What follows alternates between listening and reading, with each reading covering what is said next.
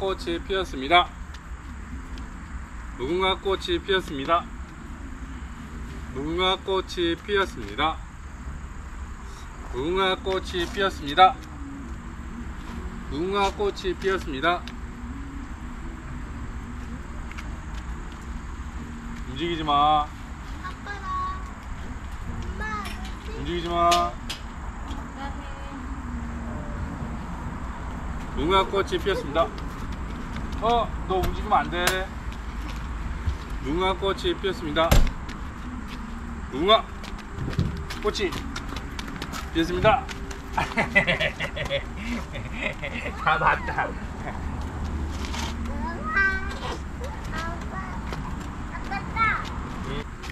이거 할 거야? 아, 아, 일어나.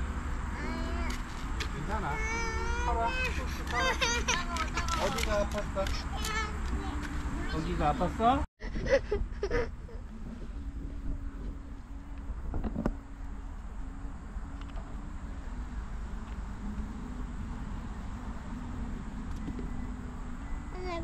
됐어. 끝. 끝.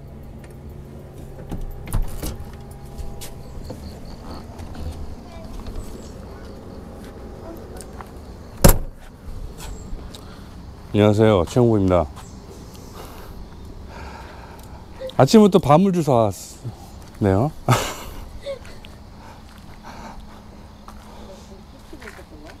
음. 란다네님 아침부터 밤을 까고 계셨어요. 이거. 이러니 일어나는 걸로 달려가지. 자, 이만해요, 밤이. 음, 오늘은 카라반 1년 6개월 됐어요. 작년 2월에 출고를 해가지고, 지금 8월 지났고 9월 차. 네, 다음 주 추석이니까, 한 1년 6개월이 조금 지나는 것 같은데, 어, 어제 먹었던 잔해들 치워야 되니까, 이거 치우면서 이제 말씀을 드릴게요. 카라반을 1년 6개월을 사용을 하면서 어, 느낀 단점들부터 일단 말씀을 드리겠습니다. 카라반을 1년 6개월을 사용을 해 보니까 명확하게 단점하고 장점이 있어요. 단점은 일단 견인을 한다는 것 자체가 단점입니다. 근데 그 중에서도 뭐 세분화를 하게 되면은 어, 골목길을 들어가기가 힘들어요. 그리고 이동 중에 예를 들어서 뭐 화장실이 가고 싶다. 모터홈 같은 경우는 이동 중에 화장실이 가고 싶다 그러면 보통 그냥 가거든요. 어디 뭐 잠깐 쉬었다가 가든가 뭐, 뭐 천천히 가면서 가든가. 근데 카라반은 그렇게 갈 수가 없어요. 견인을 하면서 두 대를 같이 움직이는 차다 보니까 이 길이가 길어요. 길이가 길다는 즉슨 어디 주차장에 주차하러 들어가기가 조금 눈치가 보일 수도 있고 주차하면 좀 튀어나올 수도 있고 그래요. 아이고 물어봐. 아. 견인하는 차량의 유류비 지금 기름값 많이 올랐죠. 뭐 경유 한 1,600원대 뭐그 정도 가는데 일단 유류비 그리고 카라반이 크면 생활하기가 정말 편해요. 안에서 생활하는 게 정말 쾌적하고 좋은데 그의 뭐 득과 실을 따지자면 카라반이 아무리 투축이어도 뒤에서 이렇게 꿀렁거리는 게 있다가 있다고 하시더라고요. 근데 그 꿀렁거릴 때마다 차도 같이 꿀렁거리고 뒤에 차가 무겁다 보니까 크면서 쾌적하긴 한데 어디 멀리 가기는 힘들어요, 사실.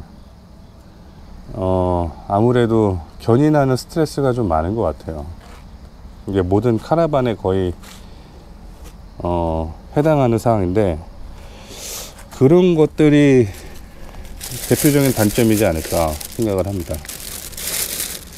그리고 사실 출발할 때 또 걸어서 출발하고 도착해서 풀르고 빼고 뭐 하는 게 예, 일이 많아요.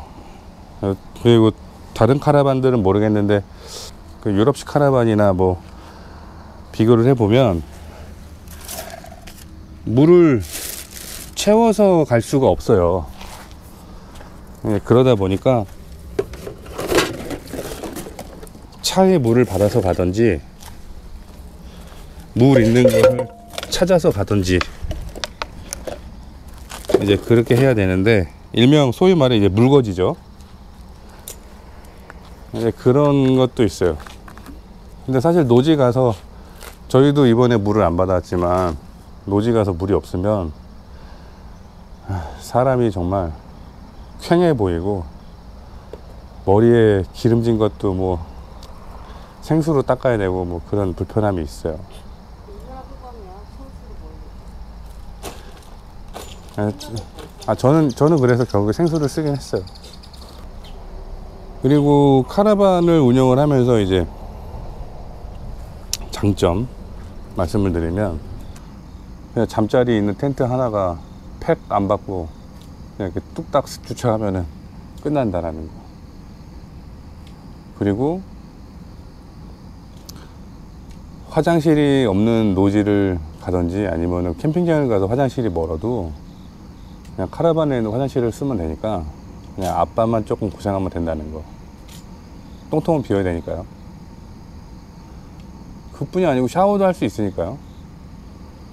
어, 그리고 전에 한번 영상에서 말씀을 드린 적이 있었는데 텐트 트레일러도 운영을 하고 뭐 텐트도 쳐보고 하면서 아이들이 날씨 추운데 이제 그 밖에서 아빠 엄마가 다 세팅할 동안 기다려야 한다는 그게 너무 너무 좀 어떻게 보면 아이들을 위한 거긴 한데 너무 아- 우리 애들이 너무 춥지 않을까 덥지 않을까 뭐 그런 걱정을 좀 많이 했었어요.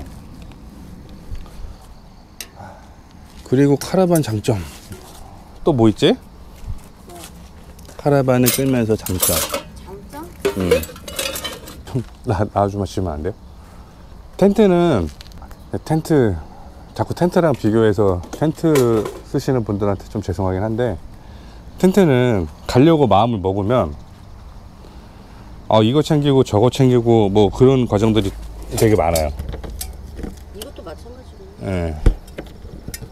근데 카라반 유저분들도 그렇게 하시는 분들이 꽤 있으시긴 한데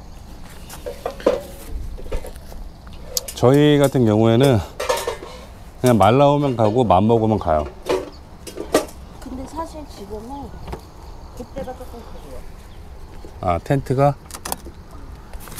어 텐트가 조금 그립긴 해. 하루 전에 정리해서 막 지금 정신없이 싸다가 여행 가서 놀다가 와서 또 그 짐 한 짐 또 정리하다 보면 일주일이 어떻게 가는지 모르겠는데 근데 텐트를 하다 보면 내가 꼭 필요한 것만 갖고 가게 되고 짐을 테트리스라는 걸 하게 되잖아 그럼 좀 계획적으로 하는 것 같아 아 쉬울 거 빨리 쉬워 맞아요. 그런 거 있어요. 텐트는 정말 계획적으로다가 테트리스를 전략적으로다가 해야 되고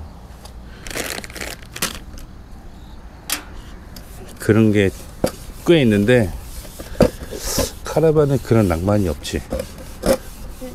그런 낭만을 찾고 싶지 어. 간혹 그래서 텐트를 가지고 나가고 싶을 때가 되게 많아요. 그거 큰맘 먹어서 가려고 했더니 날씨가 추워지니까 또 아 추워져서 못 가겠다 또 이러고 있어 어. 게을러져 게을러져 사람이 너무 나태해지는 거야. 좀 날씨가 추워졌어. 음, 이거 집어넣으세요. 텐트 캠핑에서 이제 카라반으로 넘어오시려고 하시는 분들이 꽤 많으시잖아요. 근데 제가 항상 누차 말씀을 드리는데 주차장 주차장 제일 먼저 확보하시고 넘어오셔야 됩니다. 주차장이 제일 중요해요, 사실. 뭐 크든 작든 견인차 견인 능력도 어느 정도 좀 봐야 되고 내 차가 과연 이거를 견인을 할 수 있나 그런 거 어, 그런 것들을 좀 많이 따져 보셔야 돼요. 그냥 무작, 무작정 그냥 이렇게 어 나 카라반 살 거야 카라반 사면 되지 그러고 무턱대고 딱 사시면 어 코너를 못 돌아서 이제 스트레스 받으시는 경우도 있고 그런 게 되게 뭐 크신 것 같아요. 미국식도 운영하시는 분들 보면은. 근데 반면에 유럽식 같은 경우에는 또 힌치 무게가 가벼우니까 그런 부담들이 많이 없으신 것 같아요. 미- 유럽식 하- 쓰시는 분들은. 그리고 이제 카라반을 운영을 하면서 느낀 것 중에 하나가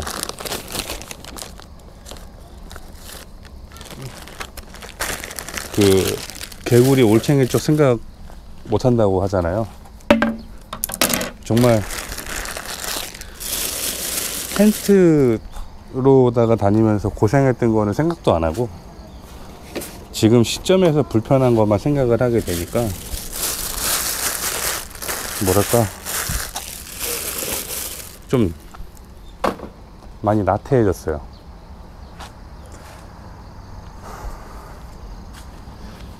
왜 그러냐면 저희 같은 경우는 노지를 되게 잘 다녀요. 카라반이 어 이제 태양광이 600W고 배터리가 400A인데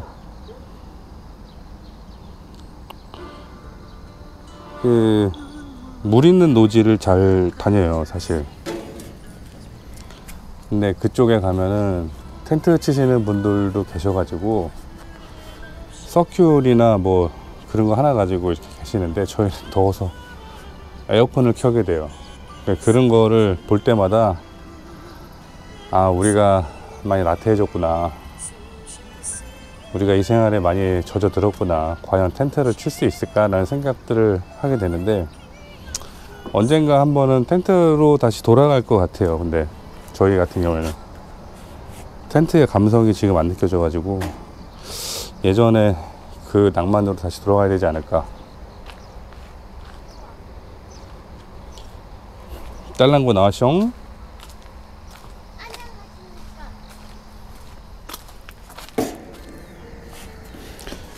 그리고 카라반의 가장 큰 장점은 그거 같아요. 음? 음, 엄마 줘요. 어, 항상 생각을 하지만 캠핑이란 거는 뭐 대충의 엄마들이 많이 하시는 경우도 있긴 하지만 대부분 이제 아빠가 하는 일이 되게 많아요. 근데 이제 아빠가 힘들면 그 집안의 분위기가 썩 좋지 않은데 일단 아빠 피로를 조금 피로감을 덜 수가 있어요. 그래서 아빠가 편하다. 아빠가 힘이 좀 덜 든다. 다 그렇잖아요. 뭘 운전도 거의 대부분 아빠들이 하고 아마 카라반 구매하시는 분들은 아빠가 결정하시는 영향이 거의 많이 거의 대부분일 거예요 아마. 아, 이제 영상은 이제 여기서, 여기서 마무리하고요. 이제 빨리 접고 오늘은 란다리님 뭐 주문도 있고 해서 이제 빨리 복귀를 해야 돼요. 저희는 거의 뭐 주말에는 란다리님이 주문 있고 하면은 거기에 따라서 또, 또 스케줄도 맞춰지고 그러니까 어뭐 그래서 텐트를 사실, 사실 잘 못 가는 경우도 있어요. 영상은 이제 여기서 마무리하고 어, 다음 영상에서 또 찾아뵙겠습니다. 감사합니다.